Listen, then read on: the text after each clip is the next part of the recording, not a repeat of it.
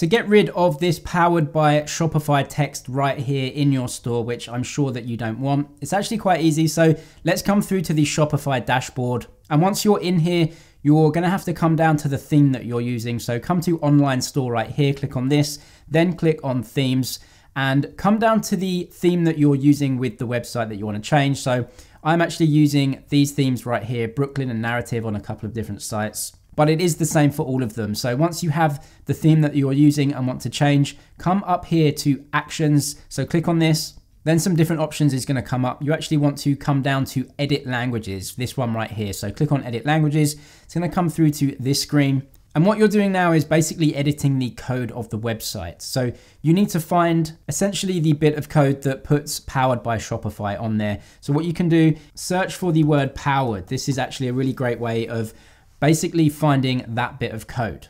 Now, as we come down, you will see it's right here, checkout and system forward slash links. You should have this and then down here, powered by Shopify. And right now it does say powered by Shopify. And the best way to basically get rid of this is to just put a space into that and then it's gone.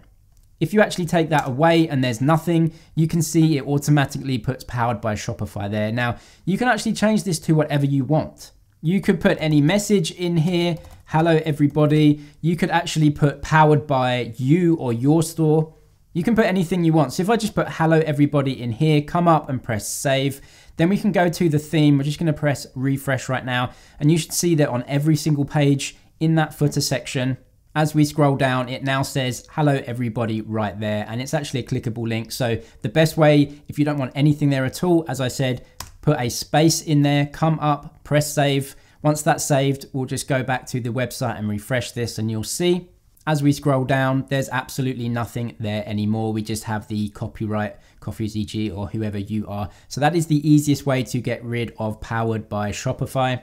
Also check out more videos in the description. I'll link them below. If the video was helpful for you, please give it a thumbs up, subscribe for more, and I'll see you in the next one.